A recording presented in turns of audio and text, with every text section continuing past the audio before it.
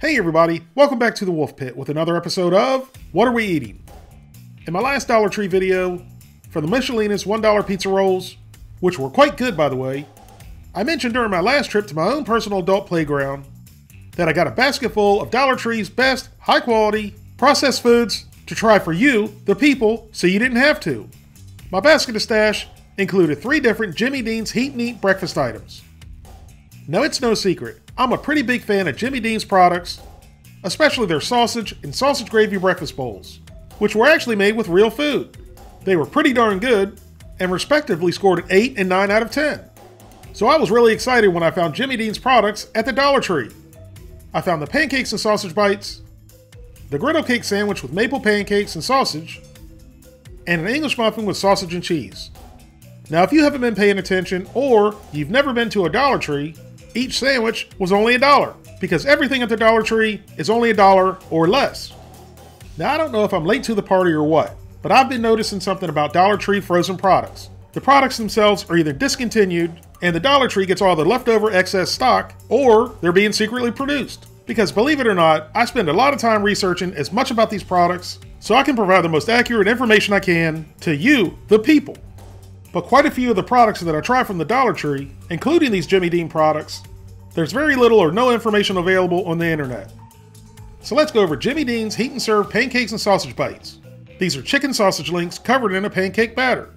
Now wait just a cotton picking minute. Can you all hear that? The earth shattering, groundbreaking sound.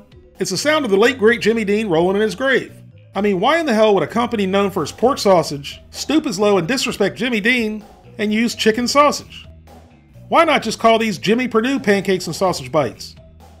The batter ingredients look okay, I guess. If I miss something bad in the ingredients, let me know. But I am happy to see there's some pork mixed in with the chicken sausage. So the pork alone might make it edible. But then I see BHT, and I don't recall seeing this before. So of course, I googled it, and here's the results.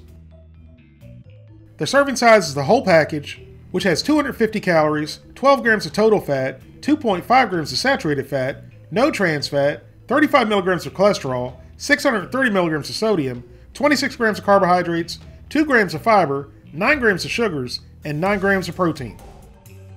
The only directions are for the microwave. And I'm supposed to make a 1 inch tear in the pouch, and then microwave for 50 to 60 seconds. Then you let them rest for 1 minute. After heating for 1 minute and resting for another minute, our pancake and sausage bites are ready. When they were dumped out of the bag, they looked like Dunkin' Donuts munchkins. And they smelled really, really good. So it was time to give one a try. And they didn't look bad at all.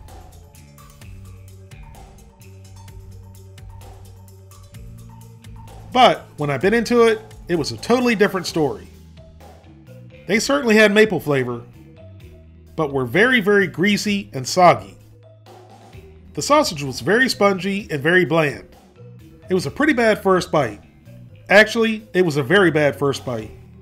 So we peeled off the batter to try the chicken pork sausage on its own. And I was really surprised at how bland the sausage was for being a Jimmy Dean product. Their sausage is usually pretty good, but not this. And when I said it was spongy, I meant it. Look at that spring. You can play jacks with this sausage meatball. Next up is the Jimmy Dean Griddle Cake, which is a maple flavored pancakes and sausage sandwich. Or, I guess you could separate it and eat it as a meal with or without eggs. Now, again, I'm surprised the sausage has chicken in it. But if you notice, there's fewer ingredients in this sausage than there was in the pancakes and sausage bites. The sausage in the pancake bites had oat bran and oat fiber in them. These don't, so that should help with the texture of the sausage. Let's at least hope it does.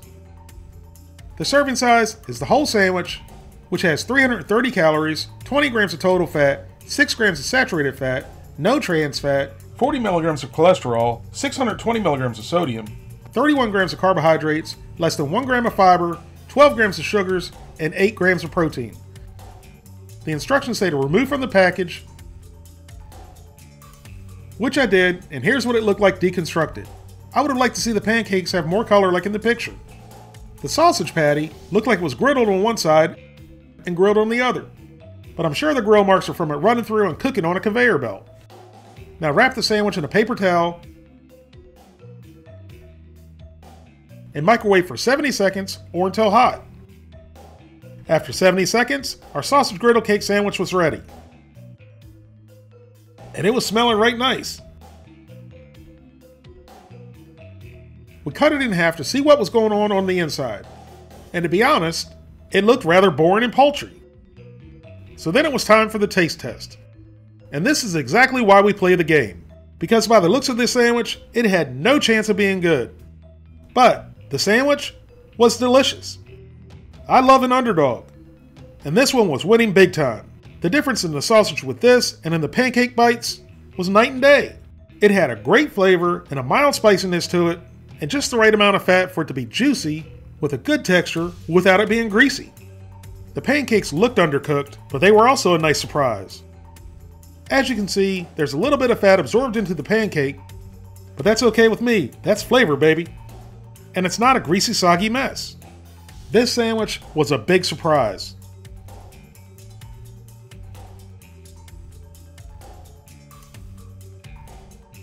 Finally, for the English muffin with sausage and cheese. And I'm going to assume the ingredients are pretty standard for English muffins. The sausage ingredients are the same as they were for the sausage and griddle cake sandwich. Per sandwich, there's 310 calories, 16 grams of total fat, 7 grams of saturated fat, no trans fat, 35 milligrams of cholesterol, 710 milligrams of sodium, 29 grams of carbohydrates, 1 gram of fiber, 2 grams of sugars, and 11 grams of protein.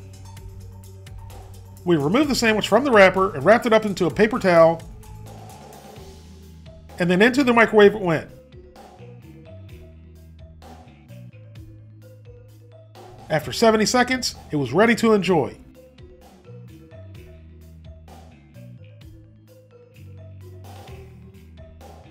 Again, after cutting the sandwich in half, it didn't look like a very substantial sandwich. But you get what you get for a dollar. Into the pie hole it went. And just like the previous sandwich, it was once again delicious. The sausage, even with the chicken, is delicious. Very flavorful, the texture was good, and it was moist. The English muffin was also great. I was afraid it would be tough and chewy after microwaving, but it was fluffy and tender. The cheese was a nice touch, but a little bit of yellow mustard would have sent this sandwich straight to Flavor I was very happily surprised with two out of three of these Jimmy Dean products. The pancakes and sausage bites, I wasn't a fan of at all. There was nothing at all I liked about them, so I'm not even going to rate them.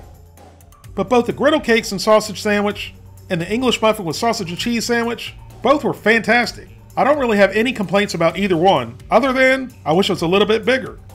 So I'm going to give both of these sandwiches a very strong 9 out of 10.